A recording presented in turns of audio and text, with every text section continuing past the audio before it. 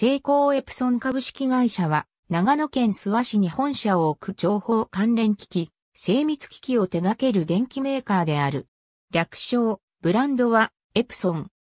インクジェットプリンターをはじめとするプリンターや、プロジェクタ、パソコンといった情報関連機器、水晶を振動子、半導体などの電子デバイス部品の製造、さらに産業用ロボットの製造を行っている。また子会社ではないものの、成功ホールディングス株式会社、成功インスツル株式会社とともに、成功グループ中核3社の一つとされ、成功ブランド、及びオリエントブランドの核系の開発、生産も行っている。2003年6月、東京証券取引所市場第一部へ株式を上場した。証券コードは6724。1942年、服部時計店の元従業員で、諏訪市で時計の小売り、修理業を営んでいた山崎久夫により、有限会社大和工業として創業。服部や第二成功者からの出資を受け、第二成功者の協力会社として腕時計の部品製造や組み立てを行っていた。1943年に第二成功者が工場を諏訪市に疎開、諏訪工場を開設する。終戦後も第二成功者の疎開工場は諏訪の地にとどまり、大和工業との協力関係を強めていった。1959年に大和工業が第二成功者の諏訪工場を営業譲り受けし、株式会社諏訪成功者となった。諏訪成功者は諏訪市とその周辺地域で腕時計の一貫生産体制を確立する。諏訪成功者を含め、戦中、戦後に、諏訪県、塩尻市、松本市、稲市には精密機器製造業が集積、同地域は東洋のスイスと称されるまでになる。1961年に子会社として新州世紀株式会社を設立。1985年に諏訪製工社と子会社のエプソン株式会社が合併して現在の成功エプソン株式会社に称号を変更した。成功グループ各社との協業により、独自設計の機械式腕時計、自動巻き機械式腕時計、卓上小型随小時計、世界初のクオーツ腕時計、自動巻き発電クオーツ腕時計、スプリングドライブ、世界初の GPS ソーラー腕時計等を開発、時計の高精度化、低価格化を進めた。時計の製造、開発から派生する形で、プリンターや推奨振動子、半導体、MEMS デバイス、液晶ディスプレイ、高密度実装技術、産業用ロボットなどの開発を行い、それらが現在の当社の主要事業に結実、発展している。現在の主力事業、主力製品は、インクジェットプリンターや液晶プロジェクターなどの情報関連機器である。創業事業である時計事業も成功ブランド向けの製品の開発、生産を続けている。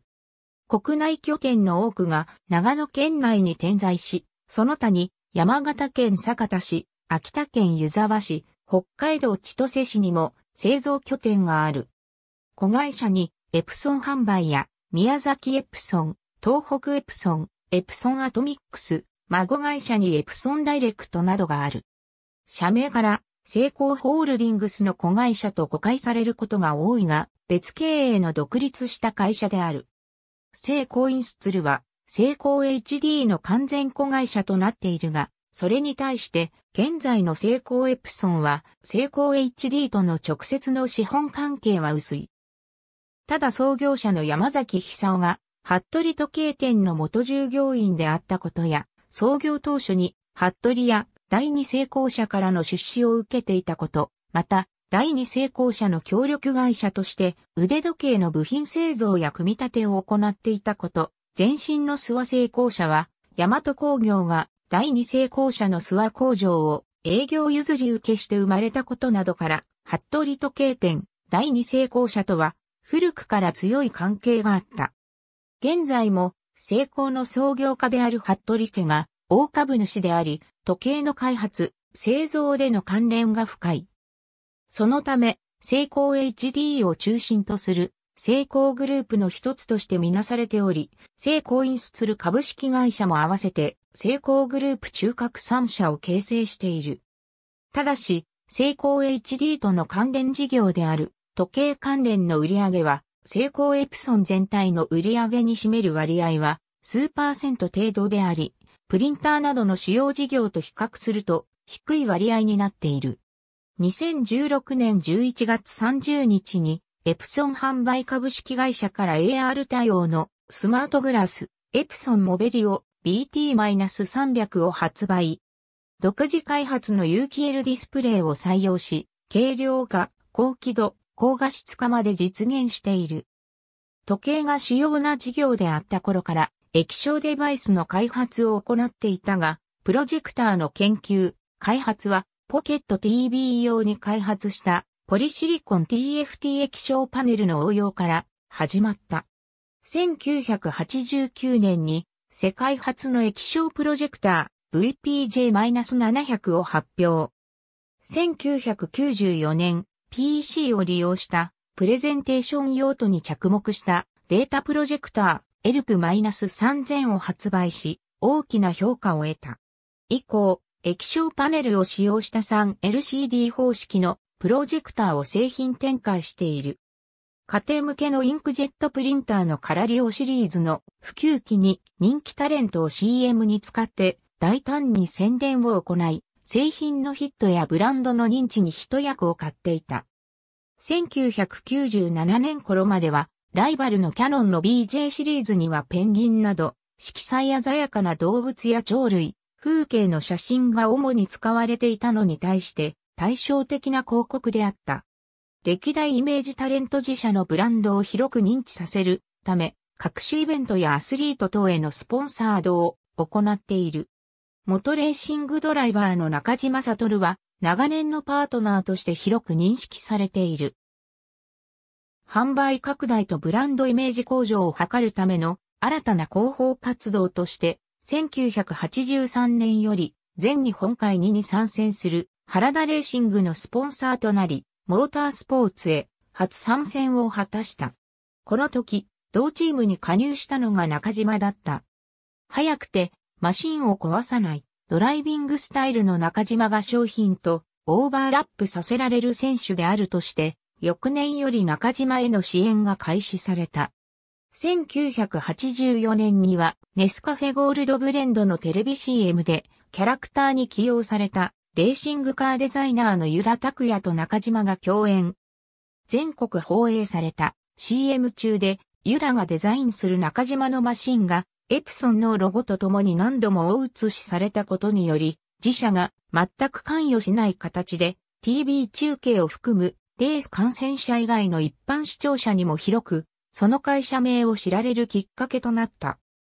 当時の広報担当者は、この思いもよらない宣伝効果が知名度と業績の劇的な向上につながったとして、今の我が社があるのは中島さんのおかげ。今後も会社を挙げて全力でサポートしていくと語っている。1987年には中島の F1 参戦に伴いパーソナルスポンサーとして会一に参入。1988年から1991年まで中島の所属チームのスポンサーとしての活動も展開。この時期には中島を起用したテレビ CM も制作され、当時の F1 ブームも重なり企業イメージと知名度が飛躍的に上がり、就職希望者が大幅に増加するといった現象も見られた。また1991年にはノートパソコン、ノートブックのテレビ CM に中島が歌う悲しき水中翼船が CM ソングとして使用され、CD が発売された時には現役 F1 ドライバーが歌手デビューしたとして大きな話題となった。中島の現役引退後も中島企画への支援は継続され、2000年、より子会社のエプソン販売が、スポンサー活動を引き継いでいる。蒸気以外では、スポット CM が中心である。より高度かつ広範囲な専門知識を有する技術、技能者を育成するため、成功エプソン工科短期大学校を開設している。認定職業訓練による職業訓練施設で高度職業、訓練専門課程を実施する。施設は、成功エプソン本社校内にある。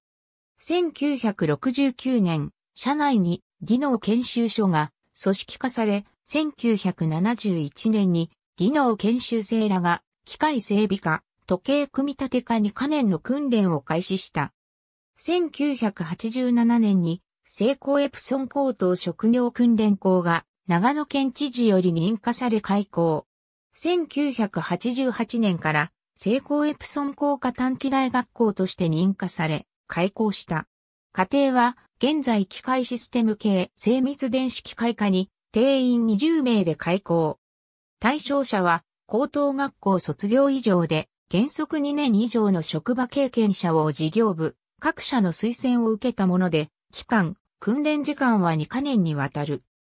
カリキュラムには、座学のほか、自主制作活動、FA 総合課題実習、選択専門実習実践実習、海外研修となっている。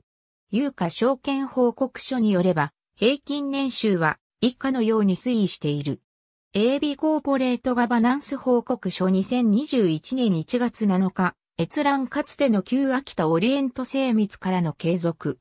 成功 HD とその事業主会社、関係会社で構成される企業グループは、成功ホールディングスグループ、成功 HD グループと呼ばれており、成功エプソンとその子会社は含まれない。